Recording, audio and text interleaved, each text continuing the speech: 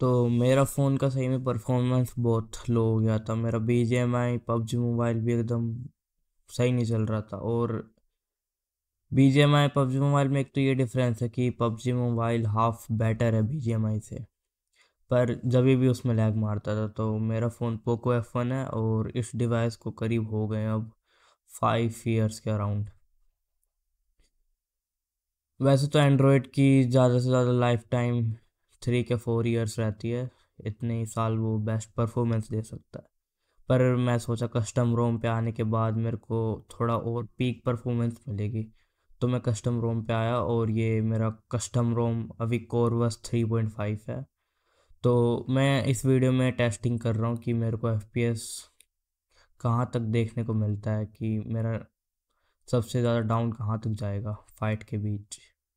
तो इस वीडियो को पूरा देखना और अगर पोको एफ़ वन यूज़र हो तो अभी से सब्सक्राइब कर दो क्योंकि आने वाली वीडियो में अलग अलग डिफरेंट रूम पे रिव्यू मिलेगा आपको। अरे उसने, रुक रुक रुक, इधर वो बना दिया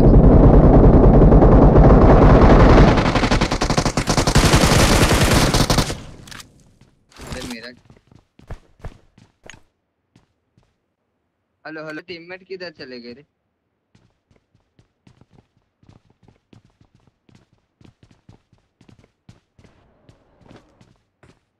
Awesome. बंदा आया।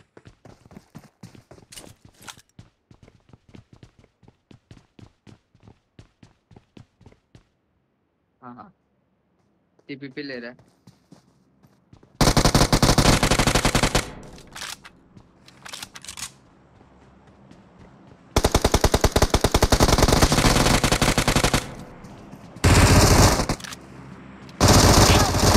अरे आना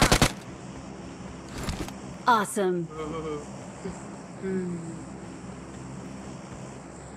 अरे तो मेरे को लगा तू उधर ही बैठा है अभी भी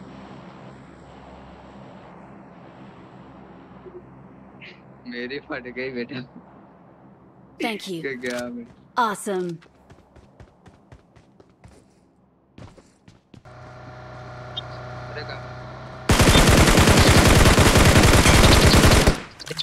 कड़ा के कुतरा पूरा काले मोइन इसको पहले. हाँ हाँ ये पीछे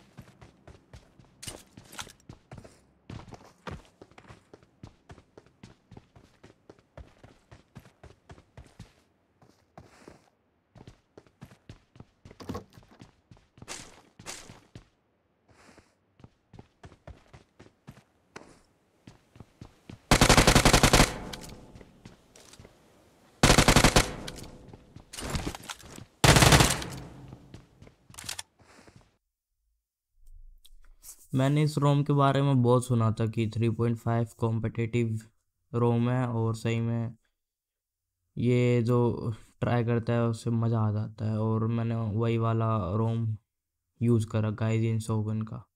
पर मेरा एक्सपीरियंस इस रोम के साथ इतना अच्छा नहीं रहा।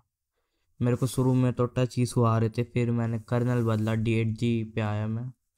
पहले मैं जेनोस का यूज़ कर रहा था। तो डी आने के बाद मेरा टच इशू थोड़ा ठीक हुई हुआ और जायरो भी ठीक ही काम कर रहा था, वरना जैनोस में तो जायरो एकदम कभी कभी वर्क ही नहीं कर रहा था और टच इशू भी बहुत हो रहा था उसमें।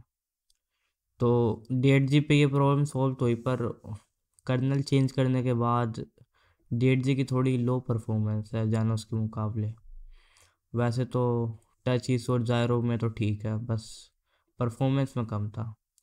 तो इस रोम को कर्नल के साथ मैं रिव्यू दूँगा six out of ten PUBG mobile को। बी जी एम आई तो स्टिल वही है। अब बी जी एम आई इतना ऑप्टिमाइज भी नहीं है।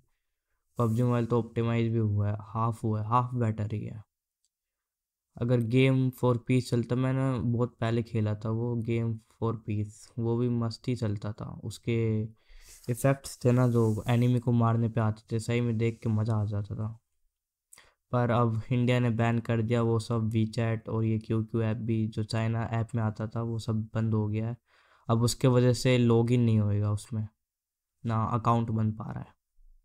वी से भी ट्राई करा जब भी।